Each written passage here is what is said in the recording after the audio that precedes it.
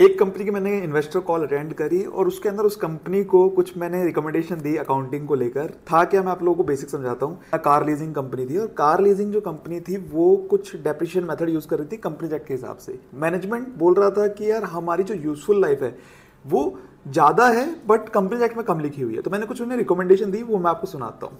The next question is from the line of Tushar Makkar, who is an individual investor. So I have a question first. So, uh, like, what we are doing in our leasing uh, business, we are charging a depreciation as per according to Companies Act. But as far as I understand, we can also evaluate our useful life of particular car, and then accordingly we can charge the depreciation whatever the useful life it has. So let's say if Companies Act is allowing for the 10 years of depreciation, and if I estimate that that, that car can run for 20 years, then we can evaluate that and accordingly charge the depreciation in our financials. So it's just a suggestion like you can also discuss with the consultant as well.